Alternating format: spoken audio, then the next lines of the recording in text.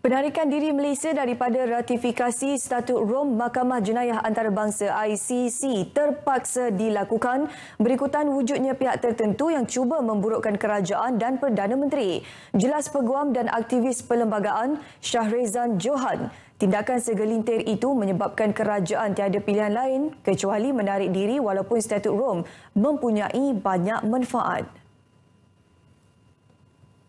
jika kita lihat konteks apa yang dinyatakan oleh Yang Amat Berhormat Perdana Menteri apabila ada pihak yang cuba menggunakan isu ini untuk memburukkan kerajaan untuk menjatuhkan Perdana Menteri saya lihat uh, kabinet tidak ada apa-apa pilihan lain kecuali untuk tidak meneruskan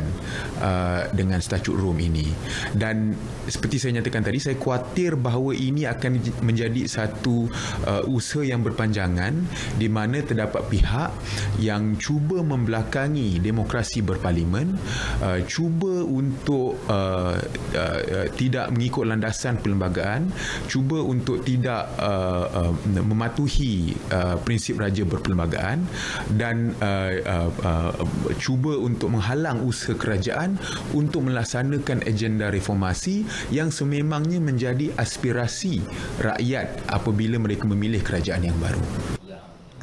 Tambah beliau, Statut Rom sepatutnya menjadi satu komitmen Malaysia mengikut standard antarabangsa untuk menolak keempat-empat jenayah iaitu jenayah pembunuhan beramai-ramai, jenayah terhadap kemanusiaan, jenayah perang dan jenayah pencerobohan. Ia juga boleh menjadi satu platform Malaysia untuk memberi tekanan terhadap mana-mana pihak yang melakukan jenayah terbabit.